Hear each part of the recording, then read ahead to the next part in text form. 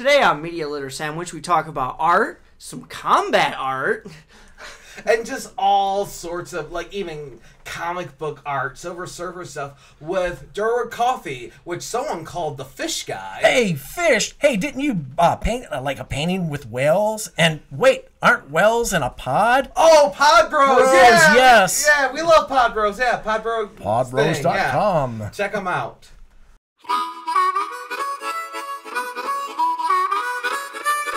Welcome to episode 36 of Media Litter Sandwich. With me is Mark Monster from CrazyMark.com. William from, allaboutwilliam.com. and I'm Scotty Myalley, better known as Toaden from Toaden.com and YouTube.com slash ToadenK. And with us, we are we are we've been listening to stories about art and just amazing things all day now. Uh, we're with Durwood Coffey. This is great. Thank you for being with us, Durwood. oh well, thank you for having me here. This is this is really excellent. We've got a great artist in our midst. Well, don't we not don't be don't be don't be going on. I mean, That's- to- Toaden introduced, kind of brought him into the, uh, you know, introduced us to him. And Toaden, what what are we going to talk about today with with Durwood? Well, I want to talk about. I mean, there's so much to talk about. I mean, you were the first airbrush artist to work on a poster for Silver Surfer. Uh, you you know you've done corporate jobs for a long time, doing like I believe those billboards, oh, WJR was yes. I did- did. And you you have a current show going on. You do a ton, you know you have art that's licensed on you know on lighters. Of course, no one smokes anymore, but they're on lighters and, uh, and on puzzles. And you work with charities? Wow. Yeah, I mean, just you know, I I do want. There's one story. I mean, you've been telling great stories, but one story I would love to hear again. How you got discovered while in the Marine Corps. You Well- actually joined to be a grunt, and while in boot camp, something happened. So there. In fact, I, me and your dad, we we went in on a buddy system. We joined the Marines, and so we're a couple weeks into the Marines. There, we're in a parking lot, standing on an area. You know, what I mean, then someone says, "Hey, who's an artist?" And uh, so me and nine other guys raised our hand. We're artists. You know what I mean? So then, anyways, we went into a room, and then all these people, these other nine, these other nine guys, they were looking for rulers and you know T squares because they were they weren't artists, they were architects. Okay. So Makes sense. the guy put some you know eight eight and a half by eleven paper that runs the you know typewriter. He says, "Here, draw something." So I drew a Stegosaurus, I drew a battleship, and I drew a tank. You know, and they actually looked like what I drew. I mean, they weren't. Mm-hmm. They were not anything, anything. But the guy said, "Oh, hey, you're an artist. There you go." and, that's, and then they made me a 1461, which is a combat artist. Right on. Now what? Now what year was this? That was 69. That's- Wow. During Vietnam. Yep, Right? yep. yeah, Wow. the- I believe you missed Woodstock because you went to boot camp. yeah, everyone went east and I went west. You know what I mean? I, Yeah. I was, in fact, I'll be honest with you, I was not aware of Woodstock going on. Not that I would have, anyway. But I'm just saying. Mm-hmm. Living, you know, at that time, I grew up in Dearborn, and Dearborn was kind of like, you know, like baked bread. I guess you didn't, you didn't venture out. Of, in, in my case, didn't venture out of Dearborn. Oh, like a hobbit. Yeah, you yeah, Stayed and in the, you stayed in the Shire. And then we, then we, you know, joined the Marine Corps. And he goes, "Holy cow! Look what's going on." You know what I mean? It was a, open, well, you know. Absolutely. So, what is a combat artist? Well, they would they would just draw, you know, one area one area of combat artists is that you go out there and you're going to draw the scenery, so they have an idea. It's like maps. But I mean, I'm doing the artwork of giving an idea. I can you can talk about where you're going, and I can give you a visual of what you're going to be running into. Oh, okay. Okay. So you know, it's just um, now the what you think of a combat artist, and this I did find out later on, where they show people fighting and all that. Yeah. Well, the, the military and the Pentagon, they would hire, which which is wise. They would have big name artists to produce these beautiful pieces of artwork, and for some reason, I thought, oh, that's what I was going to do, in in my you know in my craziness, my my youth, you know, I'm thinking, oh, but I would, you know, I wasn't that good of an artist to even do that anyways at that point, you know. So, um, so I was just um, anything they want drawn, they would draw. But it, what ended up happening, General Brown at El Toro in, in uh, Laguna Beach, he wanted an artist on his staff. And so when your dad, he flew from El Toro to Vietnam, he wasn't exactly waving to me, if I can say that, because he waved. a- Oh, I'm sure he was He had a- waving something. yeah, he had a gesture, you know what I mean? And then, you know, for my two years, I was uh, just at El Toro, Laguna Beach. It was hell. they kept you busy. Let me ask you now. Toaden was bringing up that you were working on greeting cards for the for the Marines. What No, was, no, I birthday. That's how my dad likes to oh, put yeah, it. he, but no, bir- I did the general's birthday card, you know, each year. But then, but I the was doing, general's birthday card. yeah, you know, and then I was doing Oh. manuals for no, they would have like Operation Thumper.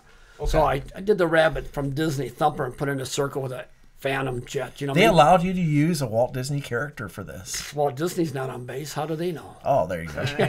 you know, you know, copyright. Don't get me wrong, because and if the Chinese are listening, they believe in this. Eh, if nobody says anything, you just use it till someone says, "Hey, you know, there's copyright laws are shaky." So Use it now, apologize later. that's right. You know, Right, and those were different times. It was, Yeah. it was it was harder for people to know when you're violating copyright. right? But we were. But the the big violation of copyright is if you're making money, that's wrong. I mean, if you can use you can use any of your figures, and all, all they can do is come and say, "Please don't use it anymore."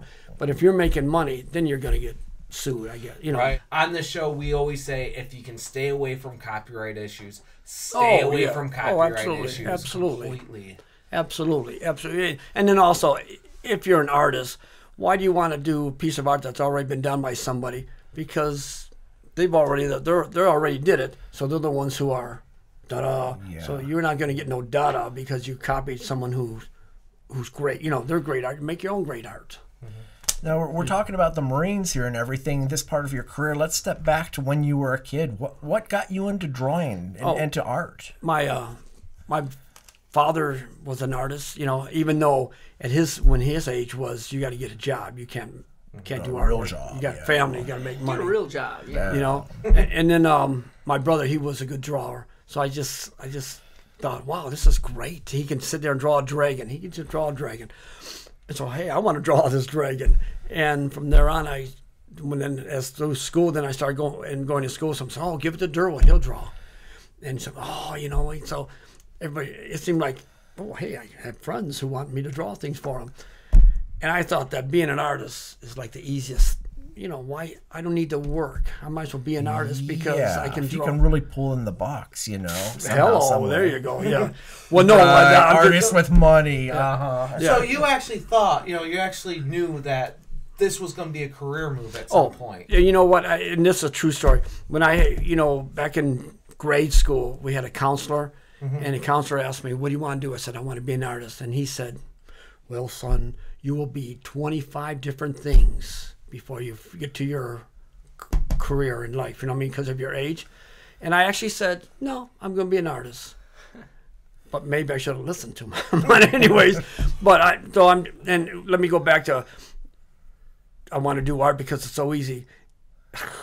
Trust me as we all know who do does art there's nothing easy about it it's, it's you know it's it's a passion you just you work hard at it you got to work hard at it Yes, you know, Yeah, there's the so- dead, good old deadlines. The client's always right, that kind of thing. Well, there and and I had no, I've I've never had issues with that because you know, clients said I want a red doorknob here in the middle of the artwork, and I said, come on, you know, it's not going to work. I will give him my opinion, and the bottom line is he's writing a check because I'm doing his work.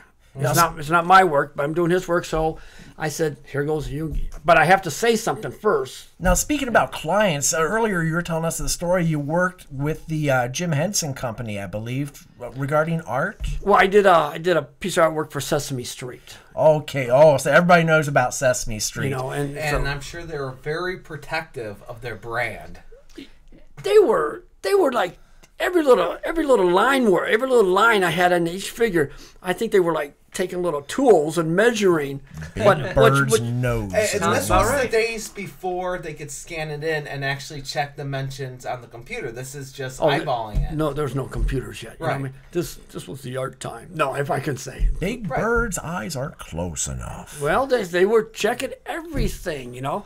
And when you look at it, the work, it's, you know, it's really simple looking. That doesn't mean it's simply done, but it's simple looking art. It's just not like a Rembrandt painting. It's just line drawings and colors. But you're missing one of those rings on Big Bird's leg. That's Yes. right. That's right. That's Yes. absolutely right. Oh, I'm sorry. He has this many feathers on this shoulder. and this color yellow. Oh, I'm sure that you probably yeah. did. Oh, have they, that. Uh-huh. oh, they did. Oh, they did. They, yeah. You know, I had PMS squares for each and make sure I hit them. You know what I mean? Mm-hmm. So Our Pantone here does not agree with your art color. it's true. You know. Yeah. But you do, uh, you know, I, I'm sure you totally understood. They had a brand Oh, and they knew how to protect it. truthfully, if you're gonna if you're gonna be an illustrator, you know, as I was, you know what I mean, and all illustrators understand this, the client knows best. He knows what he wants. You know, we're there to provide uh, work for him. If he says, "Here's what I want," you know, you you want him, you want to show them that I can make it even better. But hey, it's his it's his baby, and we're here to produce it for him. Right. Right and you've dealt with a lot of a lot of different clients. Can you go through? Tell us how you made money being an artist th- through your life. well, if, if I can say the as an illustrator, you know, you're doing a job. Here's a job. Here's a check. Here's a job. Here's a check. Whereas um, later on in life, as I became a fine artist, and there was a period of time I was a fine artist, and I was still doing illustration. And at that time, I'm thinking, boy, being a fine artist is an easy way because I'm still getting a check. Really, I was getting a check from my illustration, well, not from the fine art yet. You know what I mean? Yeah. And so then all of a sudden, when I left uh, my last job of illustration, a real reality sets in. Like, oh my God, it's pretty tough trying to make a living as an artist. You know, because it's it's not a regular paycheck like when I was working for a company, working as an illustrator for a company. But yeah, I would um, I, I had a few people who represented me around the Detroit area, and they said they'd give me a call. Says we, you know, I did a Mustang for the Ford people. I did mat cars for Oldsmobile that went in a newspaper. I did. I used to do illustration for um, Detroit News for the Sunday, you know, the Sunday paper. Like I did one for a Grand Prix painting. I did in there. Um, then I had my own clients, like WJR was my client. If um, I did this one billboard, and this was great. So, anyways, the billboard, not not that my billboard is great, but the billboard was flames and bullet holes. And, Oh, I, yeah. and I think they set this billboard up in southwest Detroit. You know what I mean? Okay. So then, after that board went up, later, I'm on, I'm watching. You know, news comes on at eleven. There's nothing. You only got three channels still, kind of. So the news, and all of a sudden they show all these people picketing this WJR billboard Why? that I designed and painted. You know what I mean? And they're picketing, and they're they're upset because it's it's not. They don't want their city to look like you know in their area. People think it's violent. So then I go to my normal job on Monday, and I get a call from the guy at WJR. He says, "Can you come up and see me?" And I go, Ooh, he's oh, probably gonna be mad. Oh. You know what I mean? And so, anyways, I say, yeah, I'll be over there at lunch. And so I get him up there, go up to the, you know, top of the Golden Tower, as they say. And then walked in his office. He jumps up and shakes my hand. He goes, "Did you see us on the news? People were on your picketing your billboard." Oh, Publicity. Oh my God! He said, I said, "Oh well, yeah, yeah." You know, but he okayed it anyway. So he, he you know. But I, I did like Tigers, uh, WJR, Detroit Tigers baseball. But there would be Tigers of paintings, and I did another one where it had three of the Red Wings skating just from the shoulders to the hip. And it's the Iceman Cometh was one of my billboards out on the freeways. Now, I'm sure a lot of people have seen those out there in the audience. Oh yeah, Well, I, I I think think, I- that one's kind of iconic. I You know, Yeah. I, I, it depends on your how old your people who listen to this. You know what I mean? So. Right, I, and and we're mostly talking about kind of Detroit type things, you know. And I know there's listeners from everywhere, but just hearing the words Detroit brings an image. Oh, it, uh, yeah, it's a well, it- you know, we all know that if you go on vacation with a Detroit shirt, on. Everybody's. They, they back off a little. Oh, he's from Detroit, you know. Yeah, And- people tend to leave me alone. yeah, you know, it, well, and, and whatever works. But I just, you know, back to the real fast to the billboard. Mm-hmm. I didn't do the, I did the artwork that they sent over to Gannett, and then Gannett would blow the artwork up. I, Right. I, I didn't know if someone says, "You mean it was up on the billboard?"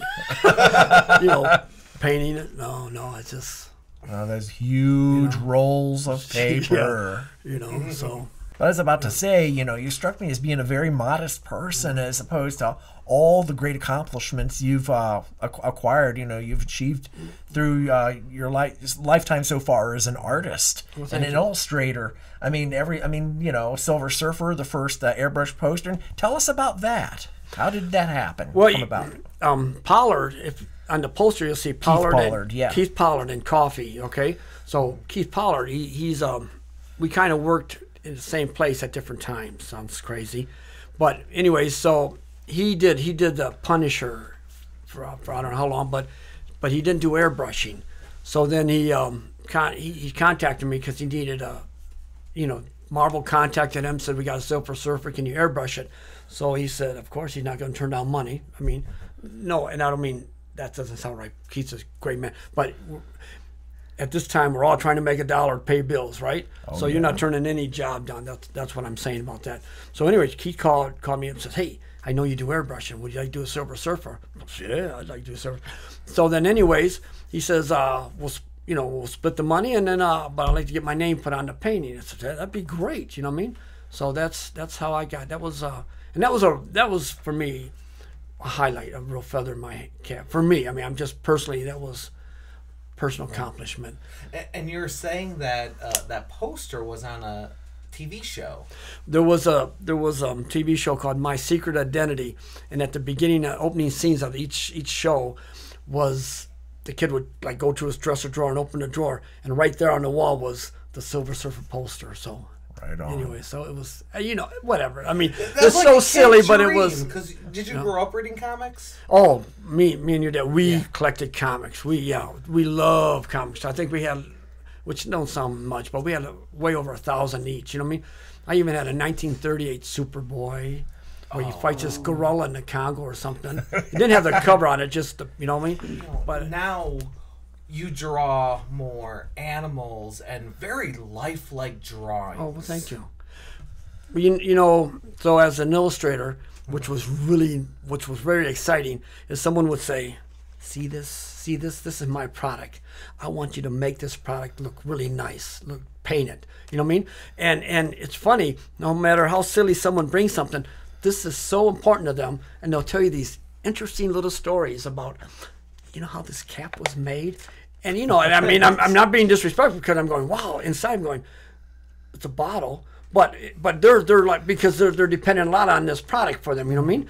And they have so much involved in this oh, bottle, yeah. and yet they're they're so they're explaining it to me, and and I'm buying it. I'm not I'm not I'm not being a sm- I'm I'm I'm, I'm believing in them. I, I you know I, I I- love that they're so in tune, but inside it's a bottle. But I'm going to do my best to make it look great so they can move on with their selling their bottle. Yeah. So, which is really that's that's a fun thing about being an illustrator because you Right. get all these little stories. Well, to me, it's just a horrible hamburger, but to McDonald's, that's It's their that's their, god. product. You, you see an airplane go by, it says McDonald. That that hamburger bought that plane. But mm-hmm. right. So anyway, so as an illustrator, I did all these. I did all varieties of anything. Anything with some. Can you do this? Can you do that? Would you paint this? So I always did. And then- then in 2001, I was getting to the point where coming to the end of my career, if I could not not that it, I mean I wanted to make a change, and so uh, me and Carol, my better half, we're walking through a Durmar art fair, and she says, "Why don't we do this? Why don't no?" She said, "Why don't you do this?"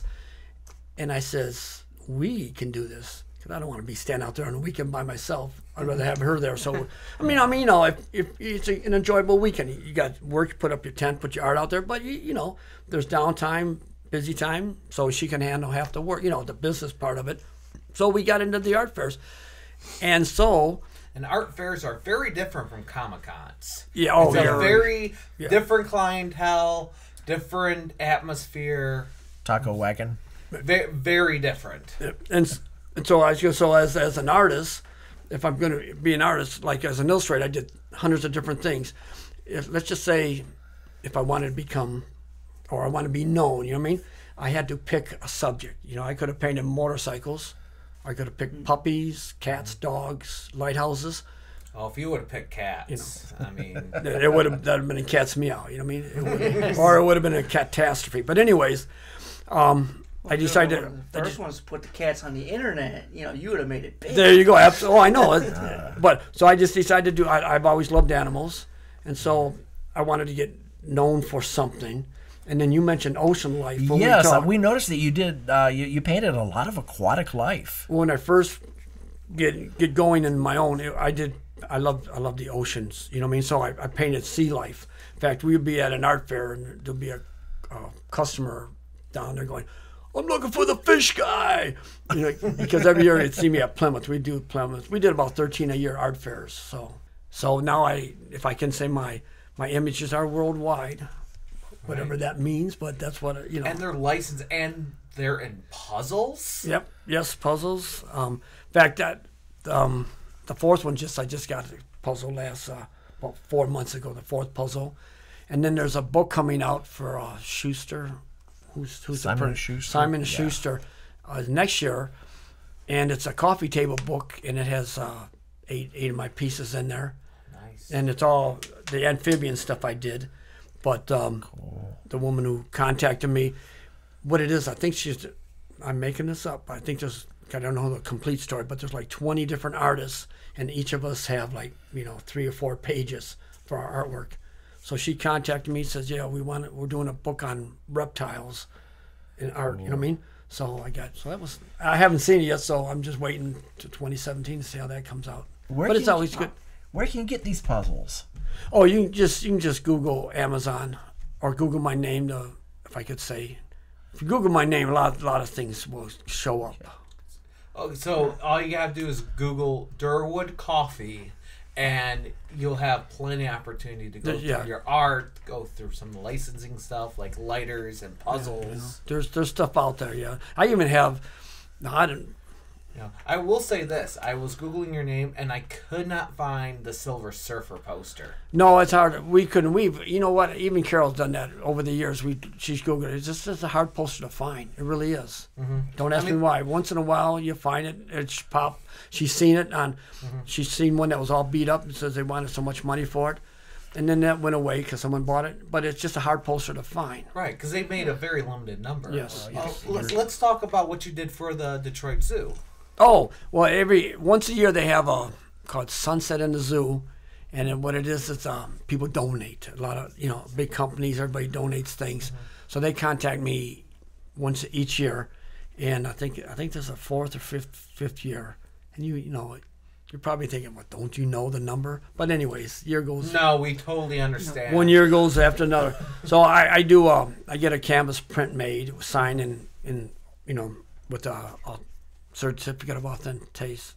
You know, Authenticity. Authenticity. it's easier you to easier for you to say. But anyway, so I donate that, and then if they'll they'll go online. There'll be a silent auction, and people bid bid on it. And that money goes for to help the animals. That's, Now, do you have any art uh, being displayed anywhere right now? I have a show going on right now at um, university called Gifts for Art at the University of Michigan in Ann Arbor, and they have like I think eight galleries, and I'm, if I can say this, I, I they gave me the main gallery.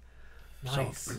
So in fact, the name of my show is Deep Ocean because it's all my ocean stuff, and I have a one of my paintings is four feet by fifteen feet, and what it's really three four by five canvases, but it's a triptych, and it's all humpback whales, and it's named called Heading North, and it's I just love this piece. I mean, I, and I had a show in November at uh, the Cherry Hill Village Theater, which I showed it for the first time. When I brought it home, and got contacted by Gifts of Art. I still worked on it after my show. I still worked another uh, five, six weeks on it. You know what I mean? Because I, I just wanted to sweeten it up even more. Now, your artwork, what medium are you using? Acrylics. I paint acrylics. Now, here's a, a huge question that I hear from a lot of artists who paint with acrylic. Mark, how do you keep your paints from drying out so fast? And uh, I, I said high slow, but that stuff gets kind of goopy. So, so Durwood, you use acrylics. How do you slow down the drying process of acrylic paint? Well, I have a palette with a lid on it, or or you could just use saran wrap.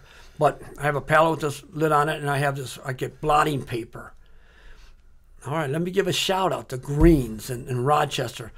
So I was buying my blotting paper at Dick's on Michigan Avenue, Right on. and they changed the and the guy i even took the paper and I showed him the difference because i went in there to buy blotting paper two weeks ago and they said oh this you know i bought the last three sheets. And this was not good blotting paper because when you put it down i cut out put it in my palette and got it wet the blotting paper actually was already starting to like fall apart. And they go no no it's the same blotting paper but it's not. So anyways i called greens in rochester and it's like you know you need a passport to go way out there I can't get any more happy trees. you know. So, so then they had a sheet of the blotting paper. So I'm back to the. It's a really good blotting paper. I, I cut it out, put it in my base of my uh, palette, and I keep that wet. And then I put my paint on there. You know, I go around the outside, when the white down the middle, and I put the lid on it, and, lit, and I sit it in a refrigerator for a day. So that one day, after I set it up, the paint, the acrylic paint, Yeah. It starts to get creamy, and boy, you can just like, it, it it moves much better. You can get Oh yeah. you can really get it to go. Whereas when you first get acrylic paint out of the tube, it's plastic. Yeah. All right, and and and it drags like plastic. So I after I sets in a day, it, it softens up, and then I really and then I also use um a matte media, fifty percent matte media and fifty percent glaze, and then the rest and fifty percent water.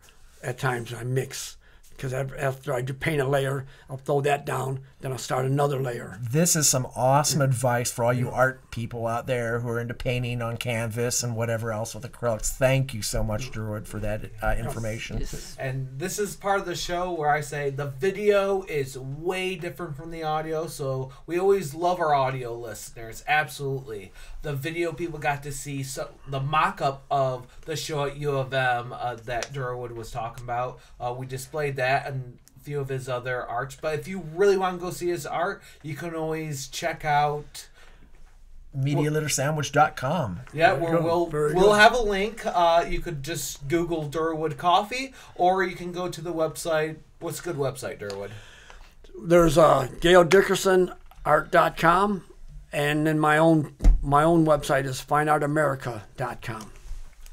Yeah. So to wrap up, I mean, Durwood, you always knew you wanted to be an artist, and you did it, and somehow it came out in the Marine Corps of all places. Who would imagine? Yeah.